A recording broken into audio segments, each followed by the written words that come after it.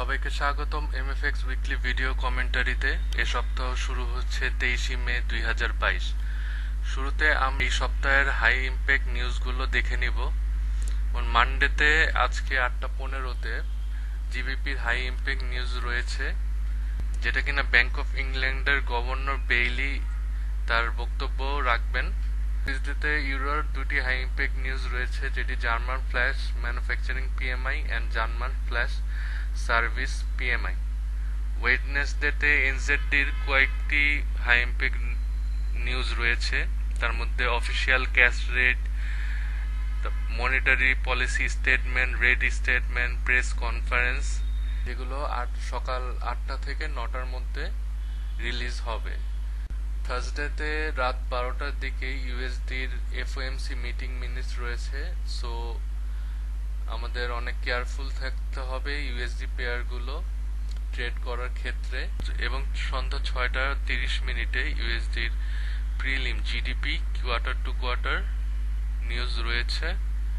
এবং ফ্রাইডেতে ছয়টা তিরিশ মিনিটে ইউএসডির core PCE price index month to month এই হাই ইম্প্যাক্ট নিউজগুলো রয়েছে।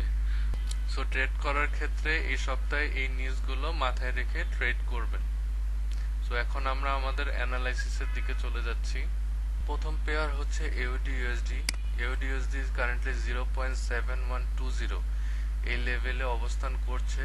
সো আমরা যদি এখান থেকে একটা H four bearish candle close পাই, আমরা, আমাদের ফার্স্ট টার্গেট হবে zero point seven triple zero এই এরিয়াটি এবং আমাদের সেকেন্ড টার্গেট হবে zero point six nine double zero এই লেভেলটি অর এলস আমরা যদি দেখি প্রাইসটি zero point seven one two zero break করে একটা H four bullish candle close হয়েছে। আমরা আশা করতে পারি market zero point seven two five zero এই অর্ডার ব্লক এরিয়া পর্যন্ত কন্টিনিউ করবে। আমাদের নেক্সট পেয়ার হচ্ছে NZD USD NZD USD zero point six five three five এই অর্ডার ব্লক এরিয়া পর্যন্ত রিকভার করতে পারে। তারপর যদি আমরা এখান থেকে একটা বিয়ারিশ ক্লোজ পাই, আমরা আশা করতে পারি market zero point six three eight zero পর্যন্ত আবার কন্টিনিউ করবে।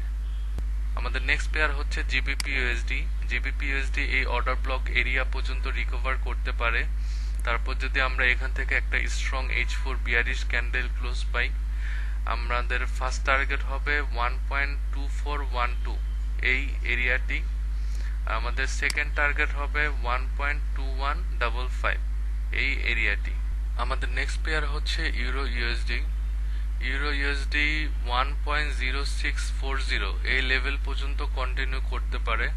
তারপর যদি আমরা এখান থেকে একটা H four bearish candle close পাই, আমরা আশা করতে পারি market one point zero four two zero এই লেভেল পর্যন্ত কন্টিনিউ করবে। অর এলস আমরা যদি দেখি one point zero six four জিরোর উপর একটা H four bullish candle close হয়েছে, আমরা টার্গেট করব one point zero seven five zero এই লেভেলটি আমাদের নেক্সট পেয়ার হচ্ছে USD JPY USD JPY currently one point two six nine five এই এরিয়ার উপর অবস্থান করছে।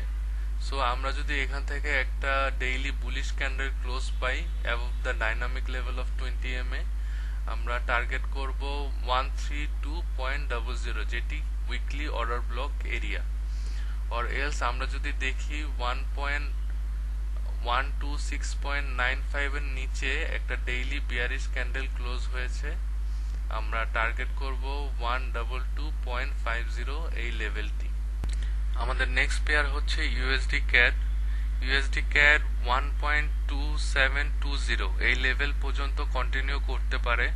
তারপর যদি আমরা এখান থেকে একটা ডেইলি বুলিশ ক্যান্ডেল পাই, আমরা আশা করতে পারি market two nine seven zero এই লেভেল পর্যন্ত কন্টিনিউ করবে। আর এলস আমরা যদি দেখি one point two seven two জিরোর নিচে একটা ডেইলি বিয়ারিশ ক্যান্ডেল ক্লোজ হয়েছে, আমাদের টার্গেট হবে টু ফোর সিক্স জিরো এই লেভেলটি আমাদের নেক্সট পেয়ার হচ্ছে গোল্ড গোল্ড কারেন্টলি আঠারোশো পঞ্চাশ থেকে আঠারোশো ষাট এই এরিয়ার মধ্যে অবস্থান করছে। সো আমরা যদি এখান থেকে একটা daily bearish candle close pi after rejecting from the dynamic level of twenty E M A, আমরা আশা করতে পারি মার্কেট সতেরোশো নব্বই পর্যন্ত কন্টিনিউ করবে। অর এলস আমরা যদি দেখি প্রাইসটি আঠারোশো ষাট, এই লেভেলটি ব্রেক করে একটা ডেইলি বুলিশ ক্যান্ডেল ক্লোজ হয়েছে। আমরা টার্গেট করব ওয়ান নাইন ডবল জিরো এই লেভেল পর্যন্ত। এই ছিল এই সপ্তাহের ভিডিও কমেন্টারি সবাইকে ধন্যবাদ।